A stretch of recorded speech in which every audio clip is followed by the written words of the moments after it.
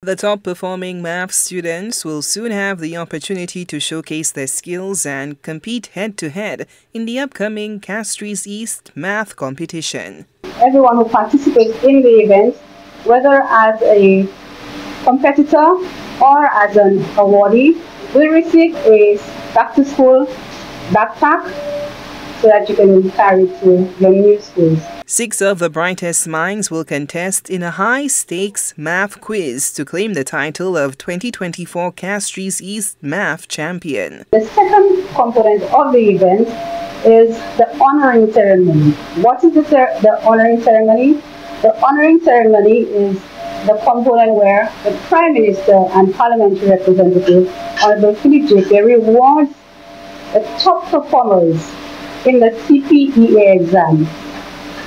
Head Judge Andrea Bourne, a long-time educator and former principal of the Canon Laurie Anglican Primary School, has been with the competition since its inception. Offering words of encouragement, Bourne inspired the students ahead of the challenge. Education is my passion. I always encourage children to do the best that they can be regardless of where they come from, who their parents are, where they live, whatever school. One of the things, as Miss Charlemagne told you about in those days, it was a common entrance exam. And if you had passed a certain age, you could not do the exam again. But children went on, despite some of them not um, going to a secondary school, they moved on to do um, um, classes in different areas of their choice, and I've seen a lot of them who have done very well. And I have no doubt that you too will go on to do well. Remember, we live in this age where the spotlight is always on you. So, whatever you do, whatever school you uh, will be going to make your the school that you are coming from, whether it be the Charles Gachet Primary School, whether it be the um, Bocage Combined and the Tiroche Combined School, and whatever secondary school you are going to, make your school proud.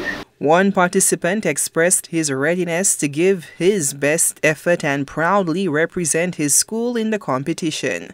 My name is Amin Solomon and I, I am representing the Bishop Charles Gachet Primary School. Well, you participated in the maths competition on Saturday. What do you think about it and, and are you prepared?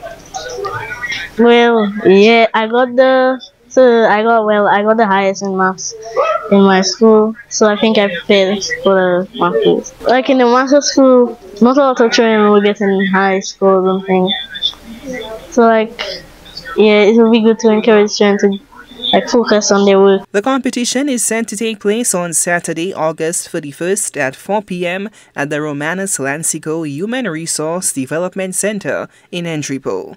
Solange Alfred, HTS News Force.